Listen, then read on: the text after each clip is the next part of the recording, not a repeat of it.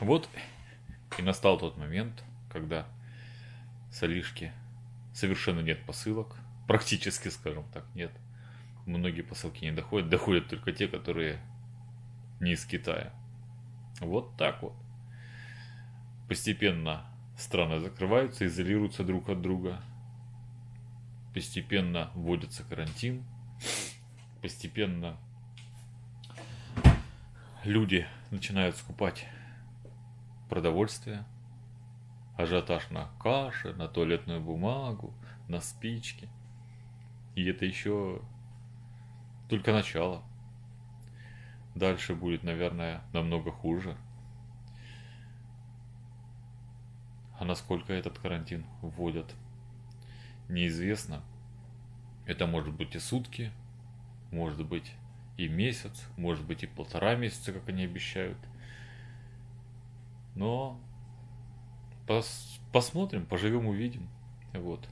Печально то, что Китай еще не начал работать на полную мощность, не запустил все свои заводы и все свои сервисы доставки. Печально то, что даже на китайском сайте AliExpress все подорожало в несколько раз, особенно бесконтактные термометры, которыми замеряют температуру, которые стоили в районе от 700 до 1200. Сейчас они на порядок выше стали стоить, скажем так, раз в 8. Вот. И это только начало, я так подозреваю. Неизвестно, что нас ждет, больше всего убивает эта неизвестность. Неизвестность того, когда все нормально заработает, когда все нормально станет функционировать, когда можно будет ездить отдыхать куда угодно, когда можно будет пересекать границу других государств без всяких дополнительных, скажем так, мероприятий. Вот, когда снимут этот карантин, когда пройдет эта волна массового безумия, вот, когда изобретут вакцину, либо какие-то действующие меры против того, чтобы не заразиться. Вот. Когда в аптеках станет очень много масок. Все это когда, когда, когда. Вот. Все мы ждем открытия сайта Алиэкспресс, открытия границ, особенно китайских, когда нам производители мировых брендов начнут представлять свою продукцию, которую они изобрели, но сделали в Китае. Вот. Одни когда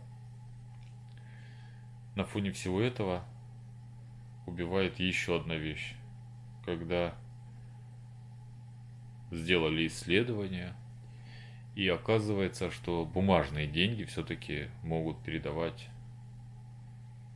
этот вирус. Так что будьте осторожнее. Откажитесь от налички, курите сигареты, получается, сидите дома, ходите в маске.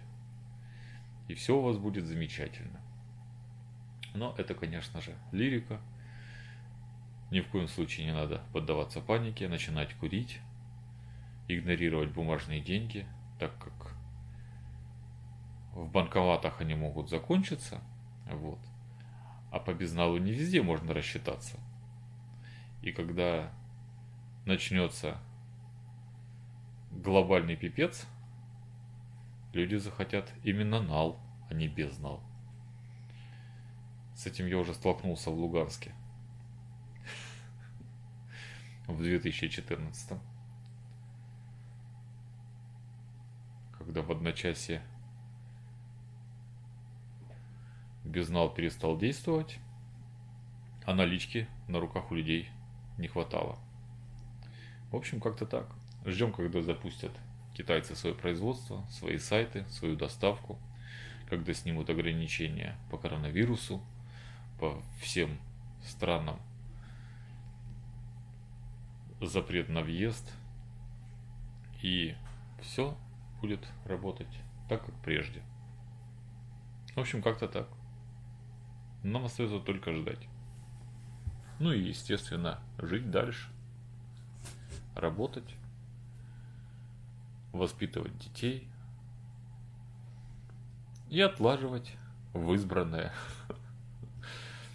С Таобао, с Алиэкспресса и с Жума, соответственно.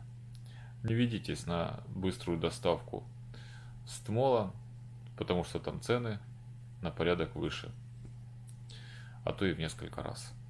Всем пока!